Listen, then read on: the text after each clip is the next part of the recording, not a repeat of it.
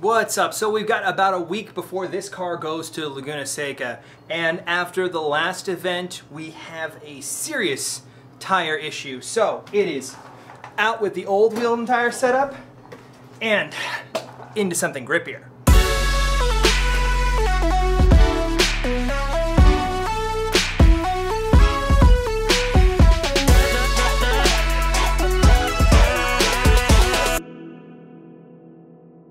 So the old setup was pretty nice to start out with, but the Toyo R1Rs had a very small temperature window. They would start off pretty uh, greasy and they would end up pretty greasy by the end of a session, especially out here in California. These Hankook RS4s are much better received, much better reviewed. There are a lot more people that run them, so I get a lot more data. We're also gonna start on a fresh set with uh, our new alignment, so they should wear pretty evenly. And these are 225 instead of 205 like the last ones. So this is the widest that I am allowed to go in the enthusiast class.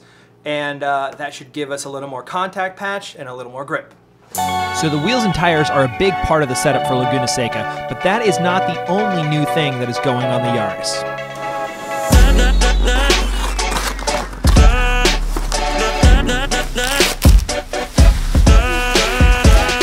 Since this Yaris was originally an automatic, it didn't actually have a tachometer in the gauge cluster. So I've got a gauge cluster from Japan shipped and ready to install. So sit back and enjoy this view of the back of my arm as I install this.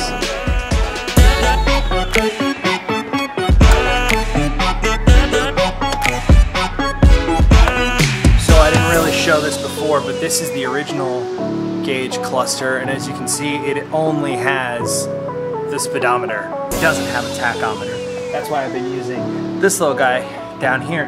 But now that I got the JDM one, yes, it's gonna read in kilometers, but it's gonna have a tachometer and I can do away with that one.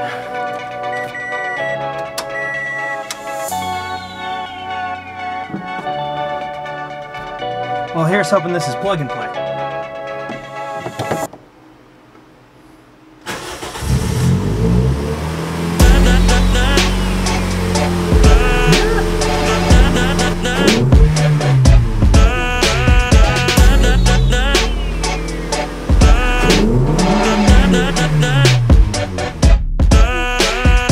So the tach is working fine, but after going out on a test drive, I noticed a little problem.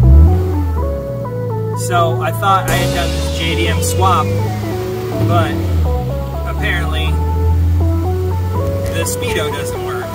Luckily, I've got one more piece that might actually solve that problem.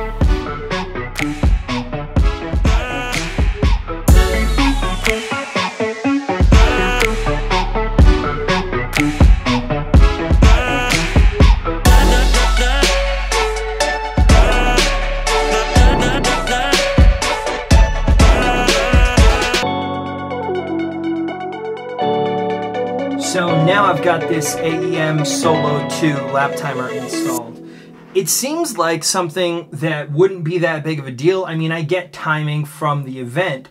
The problem is that when you're in the middle of a session, you want to have a little bit of timing so that you know whether the lap you did was better or worse than the previous lap. When I get off of the track after doing six or eight laps and it says my fourth lap was the quickest, it's really hard to remember what that lap was like and what I did in that corner and what made it fast. Here, because it's GPS tracked, it's going to be able to not only show me my lap times as they're happening, but it's going to be able to show me my plus or minus off of the best lap as I'm going through the lap. So I can see if I take a line in a corner that's a new experiment, whether that slows me down or not. I've got it set up to show my miles per hour via GPS because A, my new uh, dash has kilometers per hour instead of miles per hour, and B, it um, it doesn't work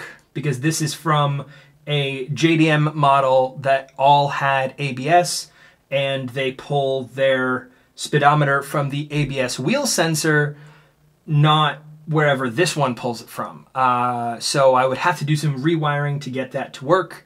I might do it eventually. I might figure out, hopefully it's just a repin, but for now, I have my speed down here, and it'll show me my best lap time here.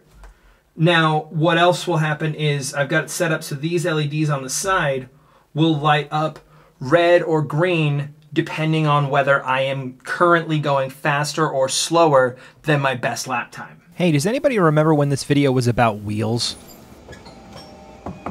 So the wheels arrived very late. So late that I've actually packed up all my cameras already, but they're here. So we're gonna go get these tires mounted and balanced and ready for the track. Whew.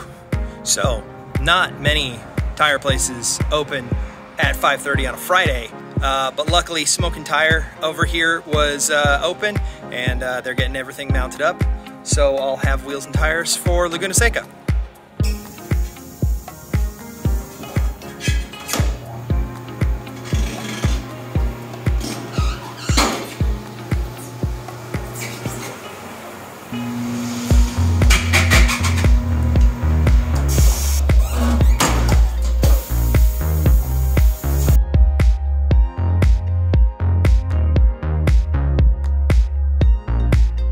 The new wheels and tires look great, but the Yaris is already on the trailer ready to go. So the first time I actually get to put these on is in the parking lot in Laguna Seca the day before the event.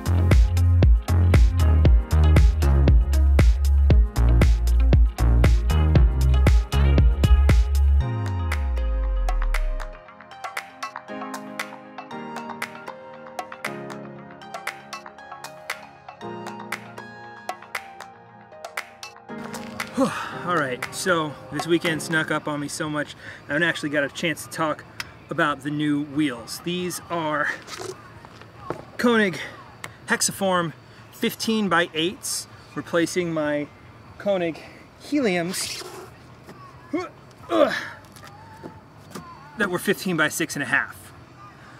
These were mounted with 205 tires, these are 225s, so the main reason for going wider is to be able to run a wider tire.